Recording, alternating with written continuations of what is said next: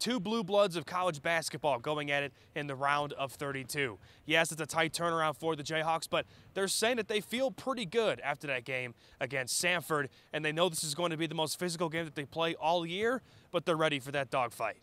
Two great programs going at each other uh, tomorrow, going at each other tomorrow, and you know it's gonna be a physical game, but you know we gotta we gotta worry about us.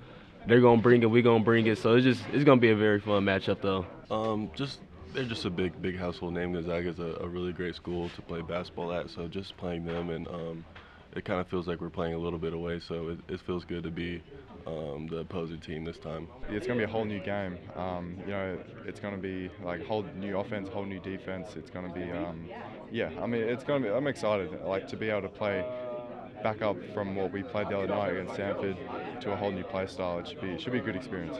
The Jayhawks say having this kind of matchup this early will help them. The Zags agree too, and they know what they're getting in KU. You know they got big guys that could that could score around the rim. They got guards that could make plays. They got guards that could shoot, and they're they're a very unselfish team. I think they're number one in the country at assists per game right now. So um, they're just a good team, a great program, great coaches, and uh, it'll definitely be a battle.